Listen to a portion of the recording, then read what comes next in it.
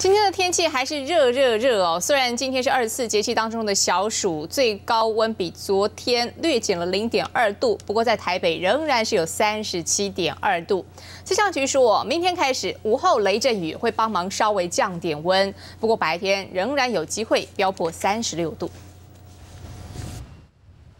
一整排小黄排班等载客，但顶着艳阳开冷气又怕太耗油，沃蒋先生只好开着窗先到旁边树荫纳凉去。但光是站着不动，头上大颗小颗的汗珠却拼命掉。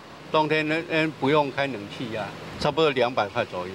人家怕引擎有时候会会燃燃起来，说不定啊。你看，昨天不是听大陆有一部公车说燃起来。掀开引擎盖透透风，担心车子会被太阳给晒过火。不过就算通风，车子还是像个大烤炉，车内温度已经飙上三十七度。昨天四十一度吧，昨天四十一度。对呀，他说今天有降一两度啊。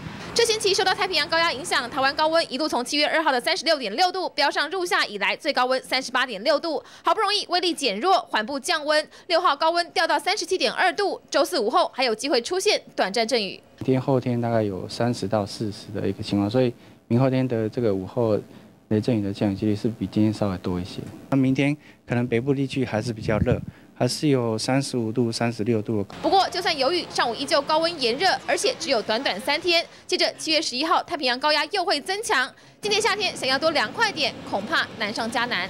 美食新闻徐贤、张军伟，看不到。